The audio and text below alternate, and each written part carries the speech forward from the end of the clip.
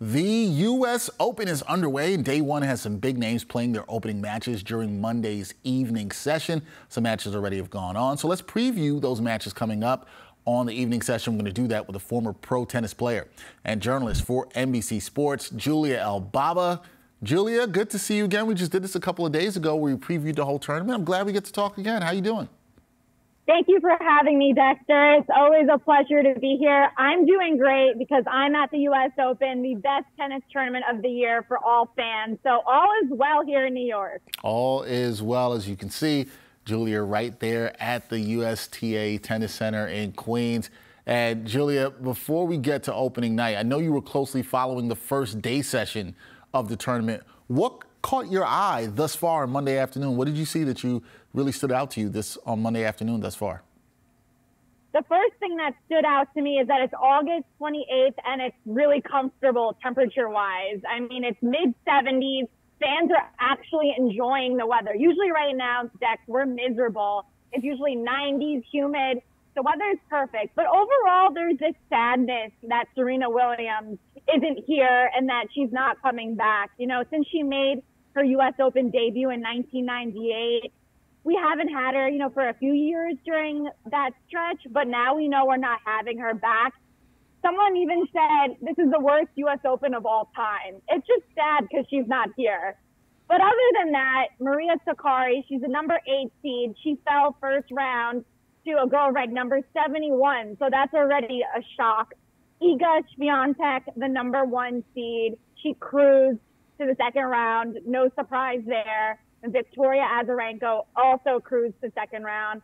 Other than that, nothing too crazy. Nothing too crazy. You see Sakkari with the upset there. Disappointing loss for her. And Swiatek, yeah, she cruised through that first match. Did that in under an hour. That was pretty impressive right there. Julia, when we talk about the evening session for the first day, let's start with Coco Gauff because we spoke about her the other day when we previewed the tournament. She opens up against Laura Siegemund. You told me that you believe Gauff has what it takes to win her first U.S. Open. So what do you want to see from her in this opening match that would show you exactly that? So as you said, she plays Siegemund of Germany, who is a veteran. She's 35 years old, so almost double Coco's age. That just, it speaks on how talented Coco Gauff is.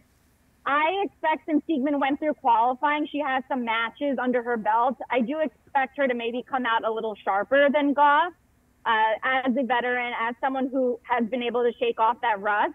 But it'll be really cool to see if Coco can be locked in right away, if she's moving those feet, if you're seeing early match nerves, if just she should be more confident now that she's been playing miraculously over the last few weeks.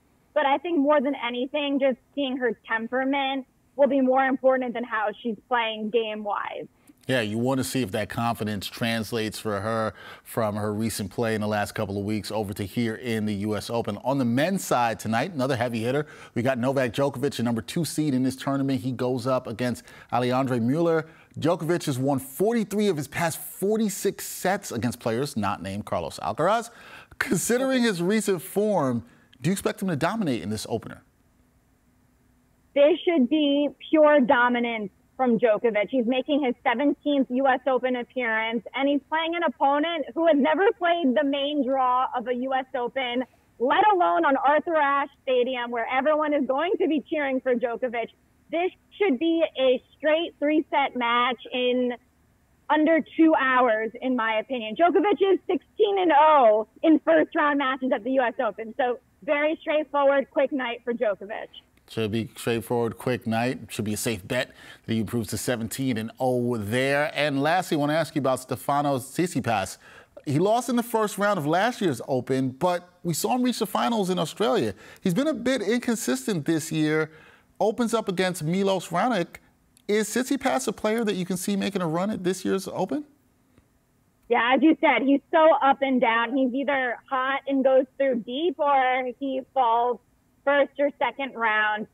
He's number seven seed here. I don't see him winning the whole tournament. I could see him, you know, going a few matches in. Surprisingly, one of his toughest matches of the tournament is the first round right now against the Canadian. He used to be number three in the world. So this first match here will be very telling.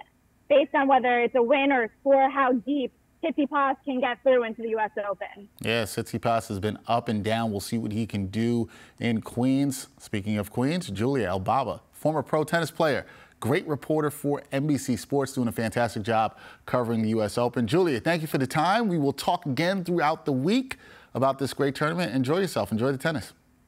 Thank you so much, Dex. We'll see you out here. Yep, you will.